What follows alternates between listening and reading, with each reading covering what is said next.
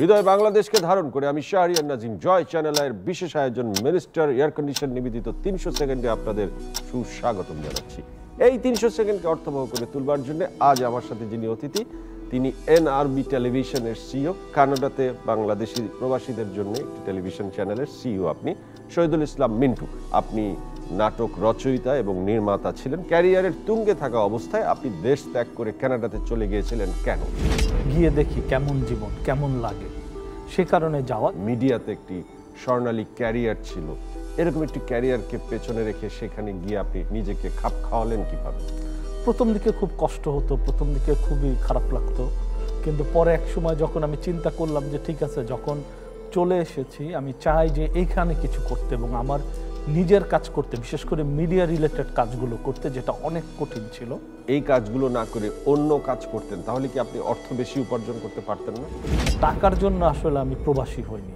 যদি হতাম তাহলে প্রবাসে মানে টাকা উপার্জন করার জন্য অনেক অনেক রকম বৈধ পথ রয়েছে যেখানে একটু পরিশ্রম করলে আপনি অনেক টাকা উপার্জন করতে পারেন। এনআরবি টেলিভিশন মূলত কীভাবে সম্প্রচার হয় এবং কারা দেখে? সারা বিশ্বে যারা প্রবাসী রয়েছে তাদের জন্য এটি একটি বিশেষায়িত চ্যানেল। এটি কানাডা থেকে ব্রডকাস্ট বর্তমানে আটচল্লিশটি দেশে এনআরবি টেলিভিশন দেখা যায়। যে মিডিয়াকে আপনি ছেড়ে গেছেন দূরে থেকে সেই মিডিয়াকে অবজার্ভ নিশ্চয়ই করছেন? অবশ্যই। কেমন পরিবর্তন মনে হচ্ছে? মিডিয়াতে আমরা যখন কাজ করতাম তখন যে সবার ভিতর যে ভ্রাতৃত্ববোধ ভালোবাসা একই পরিবারের মতো কাজ করা এটা একেবারেই নেই।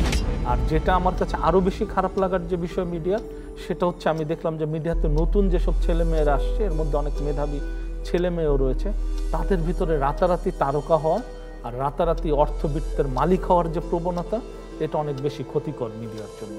কিন্তু নাটকের কোয়ালিটি আপনাদের সময়কার থেকে এখনকার নাটকের অনেক বেশি কোয়ালিটি সম্পূর্ণ নাটক। গল্পের গভীরতা বেশি মেকিংয়ের অনেক বেশি আধুনিকায়ন। এগুলো কি আপনি মানেন?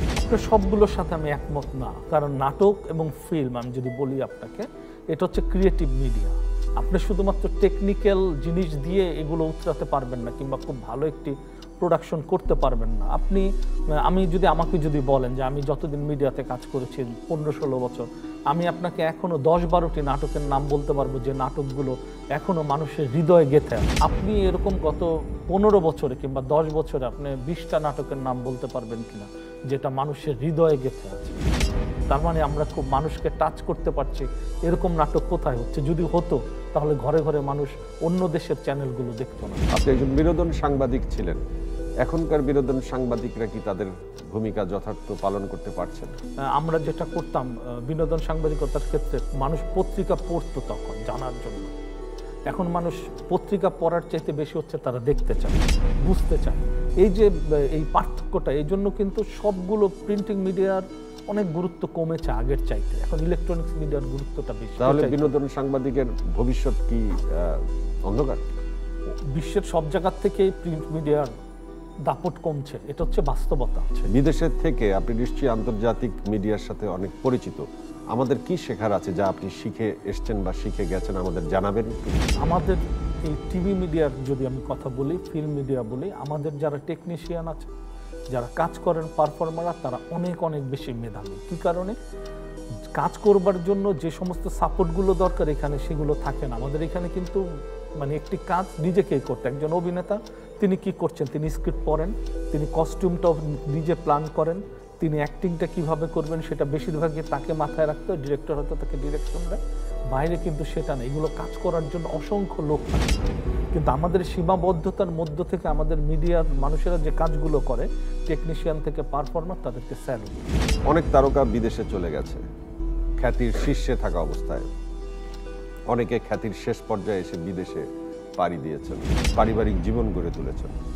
আপনার কি মনে হয় না আমাদের দর্শক তাতে বঞ্চিত হয়েছে? আসলে সবচেয়ে বড় বিষয় কি, মানুষ আসলে যারা যায়, যেমন আমরা যে গিয়েছি আমরা কেউ কিন্তু পেশার জন্য যাইনি যে আমি ওখানে গিয়ে আরেকটি পেশায় যুক্ত হব, অনেক টাকা পয়সা ইনকাম করব, সেটা মানুষের ভিতর কখনো কখনো এক ধরনের পরিবর্তন আসে, ঠিক আছে, যাই, দেখি। এরকম করতে করতে এক সময় ভালো লাগা তৈরি হয়ে যায়, সে থেকে আর ফিরতে পারে না। কিন্তু আমার নিজেরও এই ভবিষ্যৎ ইচ্ছা আছে এখানে এসে কাজ করবার। অলরেডি আমরা পরিকল্পনা করছি, আমরা ফিল্ম করব এখানে, সে পরিকল্পনা চলছে আমাদের। প্লাস আমার পরিচিত অন্য যারা আছে, বাইরে মানে ধরেন, সংগীত শিল্পী বলেন, অভিনেতা অভিনেত্রী রয়েছেন তাদেরও কিন্তু একটি পরিকল্পনা রয়েছে একসময় তারা দেশে ফিরবেন।